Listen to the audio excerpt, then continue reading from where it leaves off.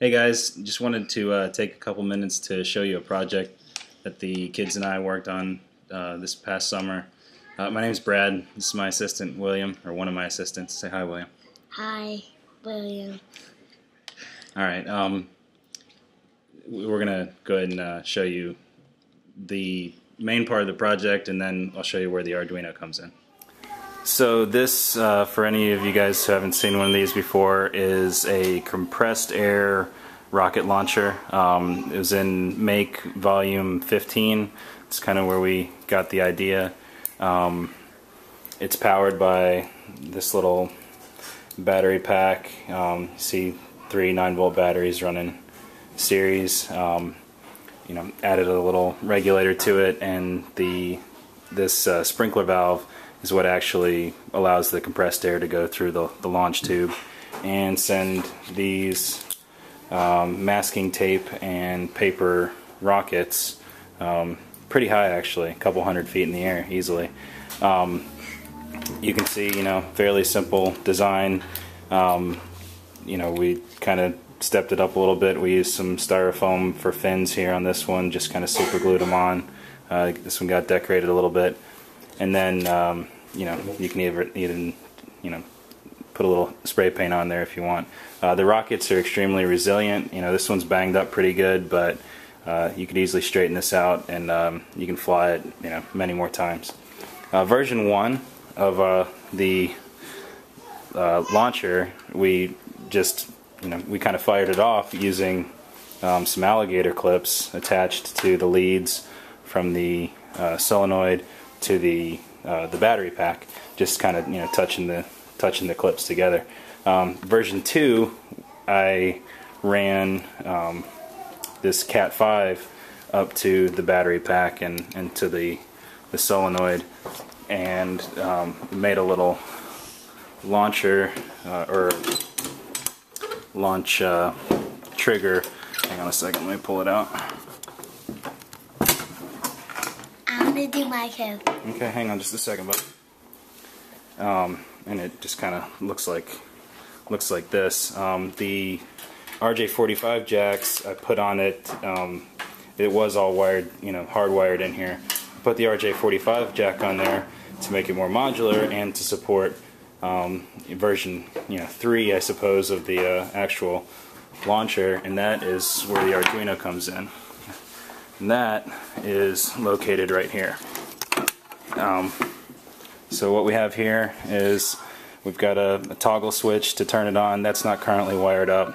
Um, we've got a just a keypad from from SparkFun, um, just a you know two three dollar keypad, and then an arcade button just to actually act as the launch button, and a um, you know wall jack wall plate from uh, with another RJ45 jack in it. And can you hand me the uh, plug over there, William? This Yep. And so you'll see the uh, plug just kind of plugs in there, and of course, you know, it's all built into a you know cool, cool little ammo box just to you know stick with the theme. Um, next, I'm going to show you you know kind of the components that are actually you know underneath all this. So. Alright guys, so what I've done is uh, just kind of pulled the, this is the frame that's inside the uh, the ammo can, um, and it's, it's you know, pretty simple. What we've got here is we've got a Arduino uh, Diecimila on the bottom, um, upgraded it with the Atmega 328 um, because I'm using uh, the Adafruit Wave Shield, um, pretty much requires the Atmega 328. If you use an Adafruit uh, Wave Shield, with the uh, 128 you're going to run into errors. I tried to chase down a bunch of bugs and it was all due to um, the smaller chips so follow the instructions on the Adafruit site. Um, you absolutely have to have that the 328 to be able to use the, the wave shield effectively. And then also I have a, just a screw shield here, just you know terminal shield to uh, make it easier to prototype. Um, so what we're doing here is basically you enter a launch code. Um, if the launch code's accepted, um, we've got some uh, prompts for the user to let them know that uh, that their launch code is accepted. Um, once they have entered a, a valid launch code, they can hit the fire button. It'll do a countdown, and once the countdown is completed, we've got this little circuit here on a on a little proto board.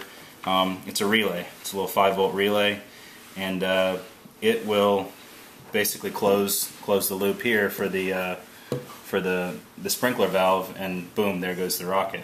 Um, we did all this for uh, William's birthday, and what we ended up with um, is, is pretty cool. We made little launch codes. This is my uh, badge and, and launch code. So each kid got their own launch code, and I'll let William demonstrate. You'll kind of get a feel for how the whole project comes together and, and what the kids were able to do when they were actually, uh, you know, shooting their rockets off. So I'm gonna I'm gonna power it up real quick. Um, again, you know, I'd, I'd, like to extend this, make an actual, um, you know, dedicated board for this whole project. Uh, right now, it's all you know, pretty much prototypes. Um, so actually, let me let me pull out the power real quick. Um, I do have a little uh, amplifier circuit and speaker, but that's not wired up right now, so I'm just gonna use this little uh, powered speaker that I have to uh, to get get some audio out. Uh, it's on. It's right there. It's one two three four.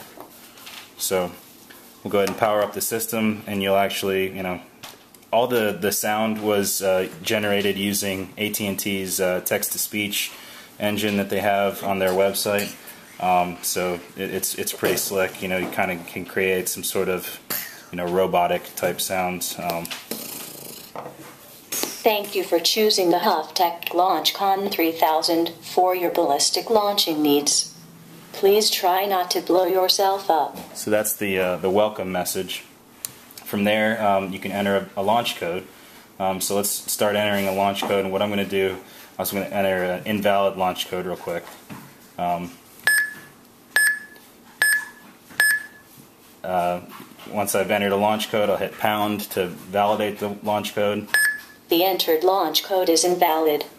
Please enter a valid launch code. So, you know, you've got that in there, a little safety mechanism. Um, it goes ahead and clears the launch code if it's invalid. Um, I'll enter another invalid launch code. Um, and if I know that I'm, you know, misentering it, I can hit star. Launch code cleared. And that actually that'll clear it from memory. And then William, go ahead and enter a valid launch code. So mine's one two three four. And go ahead and hit pound. Launch code accepted for Brad. So there you see it said my name. Um, you know, we've got all the kids' names that, that came to the birthday party are programmed in. Um, and, and, I'll put all the source code up so you guys can get a feel for how I did that. Um, and then so once you've entered a, uh, a valid launch code, launch code um, you hit the fire button. And so I'll have William do that in just a second. And once the fire button counts down, you should hear the relay click. Um, not sure if the camera will pick it up, but we'll see. So go ahead, William. Hit power. Launch initiated.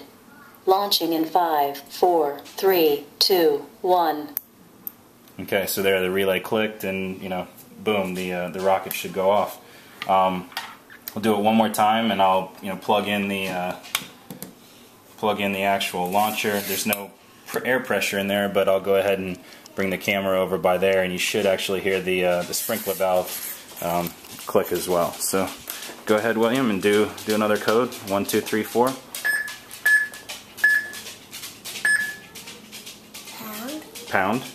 Launch code accepted for Brad. All right, and hit the hit the, the launch button. Launch initiated. Launching in five, four, three, two, one. And there you go. You heard the. Uh, Thank you for choosing the solenoid. Launch Con 3000 so. for your ballistic launching needs. Please try not to blow yourself up. So that's our. Uh, that's our rocket launcher and our Arduino powered uh, rocket launch controller. Yeah, we'll do it again in just a second, buddy. Um, we hope you like it. Um, I'll try to put up some details on my website, and uh, you know, you can you know build just the launcher, build the controller, whatever. But uh, Appreciate your votes in the contest. Thanks. Say see you later, William. See you later. All right.